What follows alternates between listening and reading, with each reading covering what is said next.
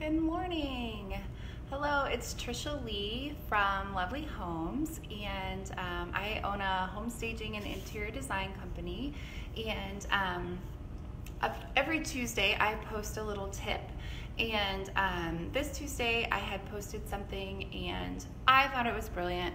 And I thought maybe I should show a little how-to video along with it. So, um, as you might guess, I um, use a lot of rugs in my business. I think I probably have, I don't know, 60 or 70 or 80 rugs. I have no idea.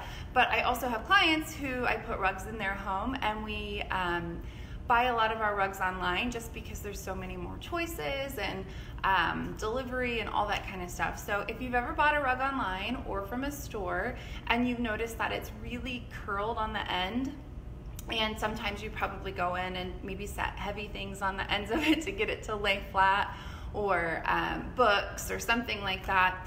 This is um, a tip that my assistant showed me that is so, so, so easy and brilliant and wonderful. Um, all it takes is like a dollar at the hardware store.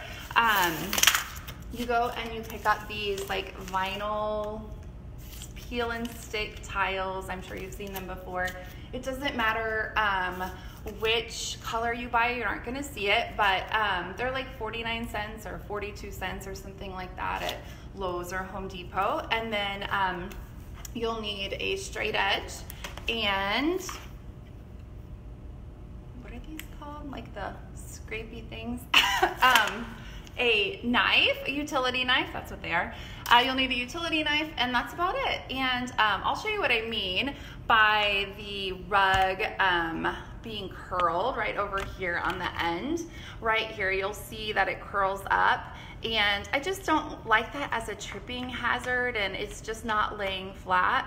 And so um, you'll take your piece of vinyl flooring and um, put it down and let's see, where am I at here?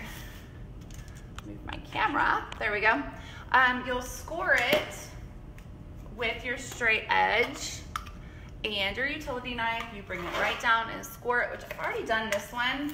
And you just need a little bitty line in there. I don't even know if you can see, it doesn't take much, but then it just pops where you've scored it, just like that. It'll just pop on that line super simple. Then you can peel it off, roll your rug back, and I'll move my camera just a little bit. Oops, there we go. And um, put your sticky side down right in the corner. And then it lays perfectly flat. It doesn't stick up at all press that down and then no one will know it's there. It's perfectly flat. It doesn't curl up anymore. It's just the, um, it's a great, simple, easy way. You can obviously get, um, you just need two pieces of tile for all four quarters.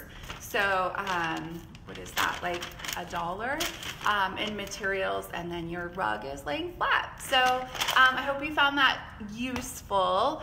And um, every Tuesday, like I said, I put out a new tip.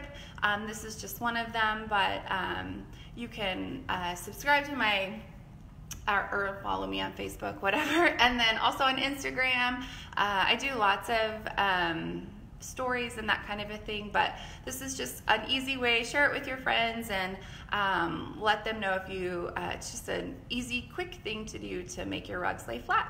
Anyway, I hope you guys have a great day, and I will um, catch you on the next Tip Tuesday. Bye bye.